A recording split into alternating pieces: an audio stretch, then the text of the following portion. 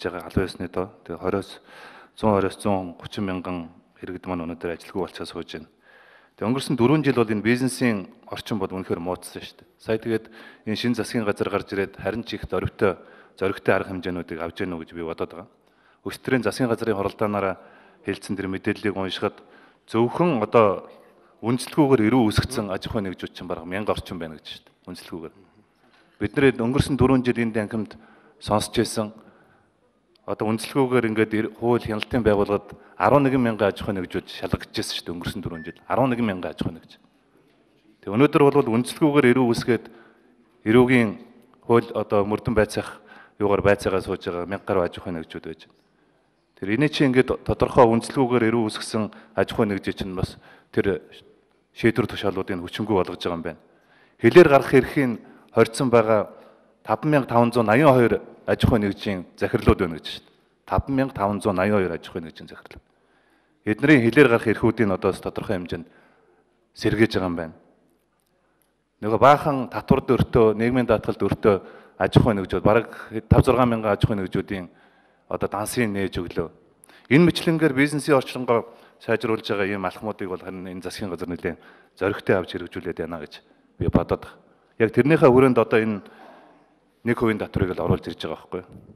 Тэгээ энэ нэг хувийн татварч угаанаас тооцоотоо судалгаатай яг засгийн газрын үйлдвэрлэлийг дэмжих хүрээндээ л оруулж ирж байгаа ийм татвар.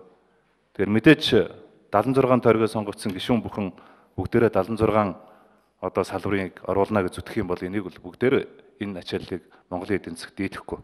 Тэгэхээр эн чинь 4 жил үе шаттай хэрэгжих юм арга хэмжээ. Бид нар бас нэг зүйлийг санамаар байна. Татврын хөнгөлж чөлөөлт байгаа шүү дээ. Бага. Юу гэхээр татврын сая өршөөлийн хууль зарласан. Энэгээр бол Монголын 130 130 мянган аж ахуйн нэгжүүд тодорхой одоо нуун дарагдуулсан байсан, ил гаргаж чадахгүй байсан. Нэг татвартай, хоёр татвартай байсан аж ахуйн нэгж маань нэг татвартай болсон. Ийм хөнгөлж чөлөөлтүүдийг эдэлсэн байж байгаа. Бас нөгөө бүсийн татврын хөнгөлтүүд нь өнөөдөр хүртэл байгаа шүү дээ мянган километрээс дээш аж ахуйн юу километрт байгаа аймагуд дээр аж ахуй эрхэлж байгаа бүх аж ахуй нэгч өнөөдөр 1% татвараа төлөх энэ зохицуулт нь өнөөдөр байгаа шүү дээ. 1% татвараа.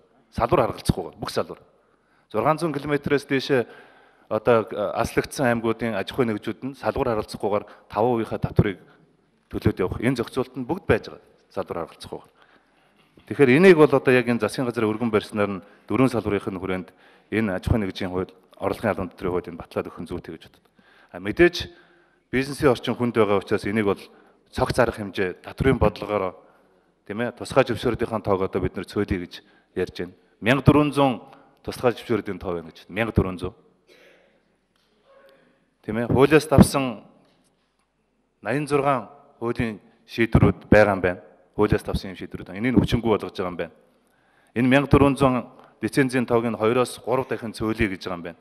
Энэ мэтлэнгээр л гон бизнесийнхаа орчинг дэмжиж байгаа ийм алхмуудыг нь хийгээд байна. Тэгэхээр энийг ингээд цөмөрөө нэг яг энэ бизнесийн орчинг сайжруулах татвар татвар төлөгчдөө дэмжих аж ахуй нэгжүүд баялаг бүтээгчдэд дэмжих энэ засгийн газрын бодлогыг бид нэ цогцоор нь харж л ингэж энэ хурлын дэмжиж явах хэрэгтэй юм байна гэж би ойлгоод байгаа байхгүй.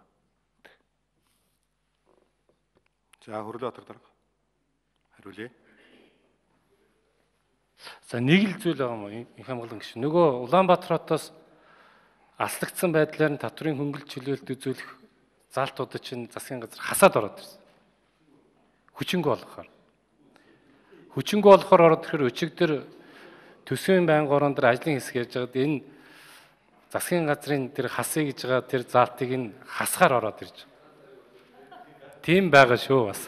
Та одоо тэгэхээр ажлын хэсгээс гаргасан энэ санал байгаа. Энэ одоо санал хураалтанд 3 дахь санал байгаа. Энийгээ эргээчвэл нөгөө Улаанбаатар хотоос аслагдсан байдлаар нь татврын хөнгөлөлт чөлөөлт өгөх нөгөө 2016 оны 3 4 сард оруулсан энэ өөрчлөлт чинь эргэж босох юм байгаа шүү гэдгийг хэлээ. За. Гүшүүд асуулттай